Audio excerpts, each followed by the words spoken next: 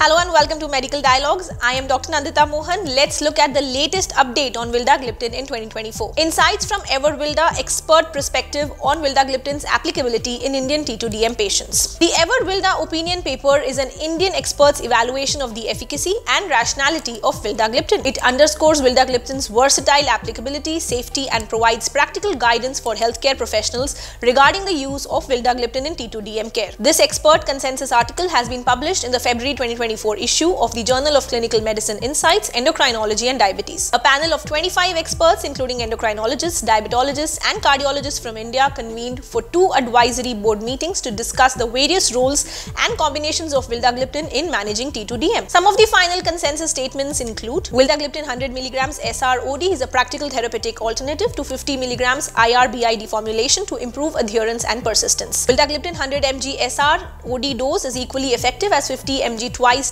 daily. Vildagliptin regarding HbA1c, fasting and postprandial blood glucose levels. That's all for today. Stay tuned to Medical Dialogues for latest updates. Never miss a medical update from Medical Dialogues.